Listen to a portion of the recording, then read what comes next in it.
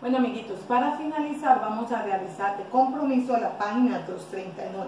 Le vamos a decir al papito, a la mamita o cualquier adulto que esté con ustedes que nos ayude a realizar la lectura. Primero que todo, ¿qué vamos a hacer? Vamos a observar las ilustraciones o imágenes y se las vamos a describir a la persona que esté con nosotros.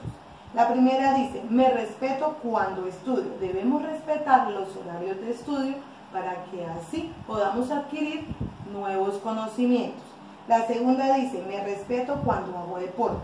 Es muy saludable realizar deporte todos los días, amigos. Esto permite que crezcamos sanos y fuertes.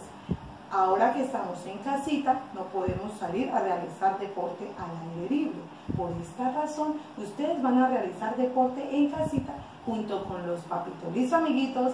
¡Chao!